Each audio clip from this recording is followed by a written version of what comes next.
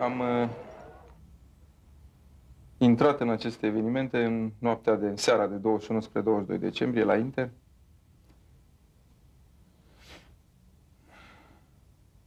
Au fost uh, uh, momente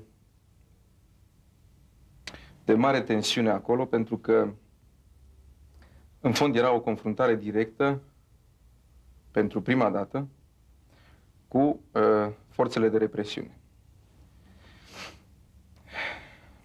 Țin minte că erau, de fapt, uh, grupuri masive de cetățeni pe cele două trotuare și un grup de tineri îndeosebi care se aflau pe uh, Caldarâm. Baricada s-a aflat mai întâi uh, ceva mai departe spre Magheru, în drept, mai, mai sus de sala Dales și sub presiunea forțelor militare, tanchetele blindate care erau acolo pe măsură ce avansa seara și noaptea. Baricada a fost uh, a trebuit să o retragem încet, încet, sub uh, aceste repetate asalturi ale unor uh, militari din trupele de intervenție, n-aș putea să spun acum de care natură erau, păreau a fi trupe de intervenție ale securității. Um, ne-am uh, retras până chiar în dreptul intrării la uh, Intercontinental. Au fost câteva momente mai dificile.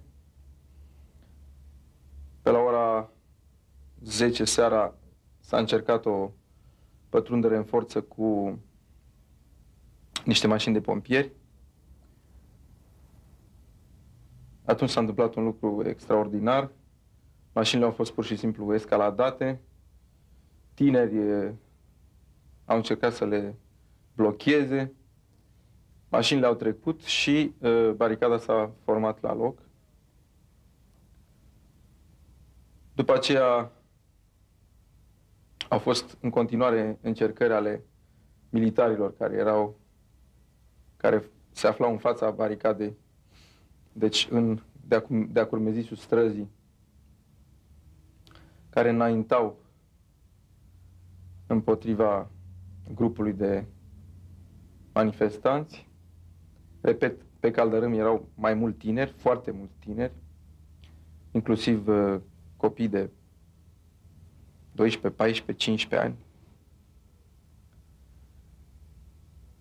Până când, uh, uh, în, între timp, uh, din tanchetele acestea blindate, în câteva rânduri s-a tras cu, s-a tras cu mitralierele în aer. Pe la ora 1 fără 20 a fost un atac direct cu tanchetele blindate. Atunci s-a, s-a și tras cu mitraliera, ca să spun așa, ne ținând cont de, de oameni. Deci unii au căzut. Și atunci uh, ne-am dispersat, bineînțeles, în, uh, îngroziți de ceea ce vedeam.